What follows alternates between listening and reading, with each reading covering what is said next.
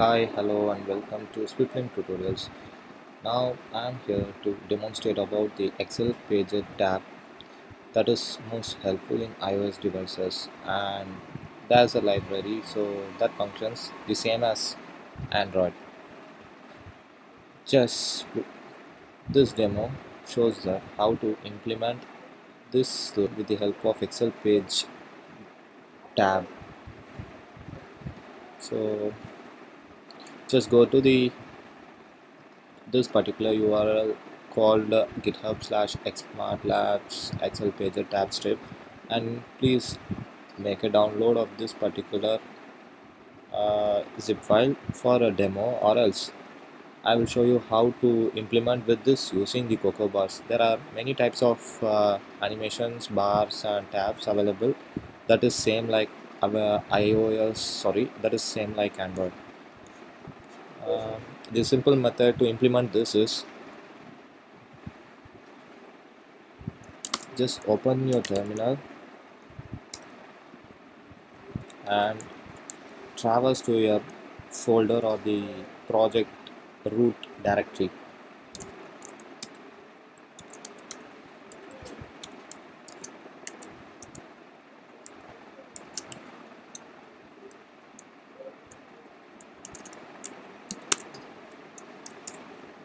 just list the files. Could say n number of files that is available in my directory called documents so now I will go through the root path. Documents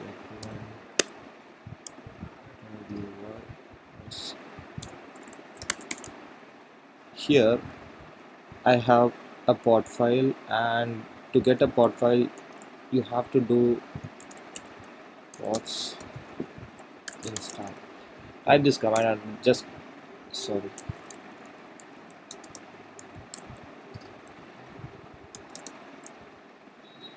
Just type the command pod init and here it shows that it's already exists because I have already created the pod file so this pod file is helpful for fetching the CocoaPod libraries into our project. Now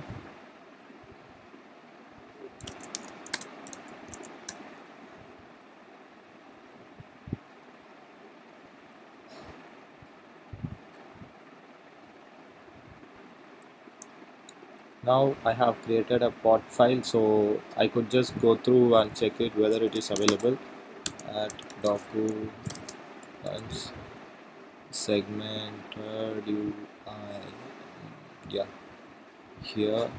I could just see the pod file. So here just go to that particular CocoaPods uh, github site and here they have mentioned the CocoaPod installation. Just copy this and paste it. Paste it in the CocoaPods uh, uh, that is pod file and just save it and close it. Now go to the terminal again and type pod install now the CocoaPods are implemented into our project and uh, what you have to do next is just close the terminal go to the segmented UI workspace and open it. So it will show something like this. I have implemented a project uh, representing the uh, XL pager tab strip. So the next procedure is that the pods get uh, the pods are stored in your project workspace. Now you can do the other functionalities like the first one is you have to just pick out a collection view and drag it and place it here. Just remove the cell in that collection view and you have to adjust the size. So this will be the tab that will be shown to the users. This tab. So you could divide the number of tabs as you require. And this is the layout. Now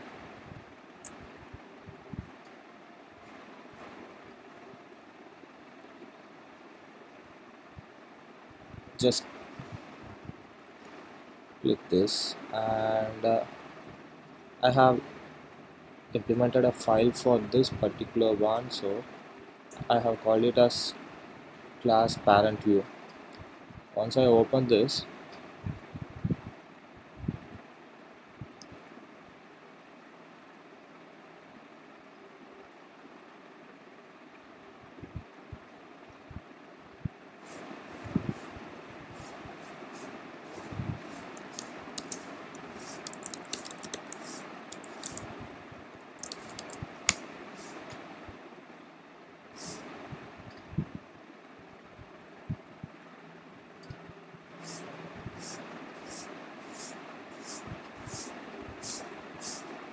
here I have implemented a class and prior to this step you have to import the XL pager tab strip into your project. So once you import this library then you could fetch the classes from that library. So uh, there are four different types of uh, tab strip and I have chosen button bar pager tab strip view controller. Uh, that is inherited by the class parent class. And I have mentioned the colors and other additional attributes that you require in your project space and that is available in that particular github page. So the next foremost important uh, functionality is that you have to copy this method either from there or you could just make a note and you have to call the other two controllers in your project space. That is going to appear once you click the tab.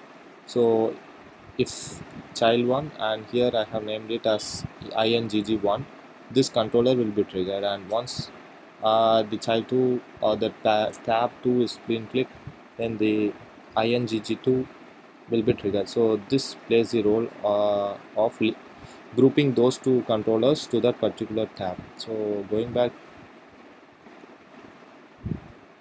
to the storyboard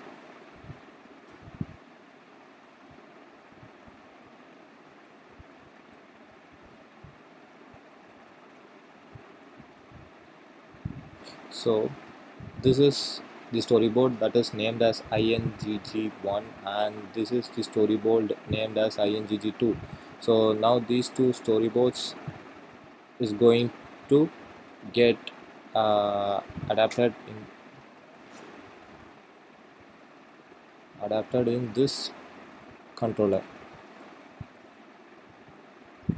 And one more thing to notice is that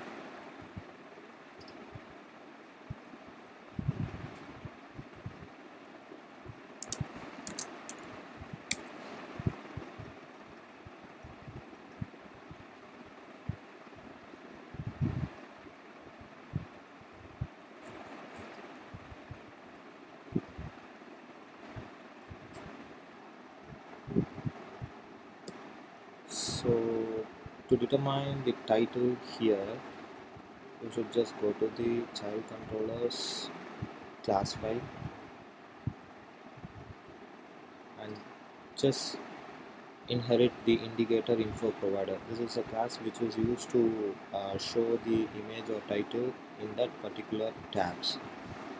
There you have to declare the function called func indicator info for page tab page tab strip controller and just return the indicator info title and the title name that has to be shown to the users in this particular tab. And follow the same for the another child controller. And foremost important is that uh, once you click the uh, collection view then you have to drag it and match it to the view and just allow the delegate methods of this collection view. So this is the one this is one more important fact that everyone must make a note. And also just clean build your project space after you have installed your uh, pods into your project. So once everything is done here then you could run the emulator and just see this. Sorry for this as it is overlapped to the top. By just clicking these two there is a slider animation. Sorry for this. there is a slider animation that shows you the contents into different scenarios or contexts. And also these buttons do work you could also implement uh, many new different types that is available from the four other subclasses in this library. Thanks for watching and please subscribe and like the video. And I will share a URL so that which will be helpful with uh, textual documents in implementing this. Thank you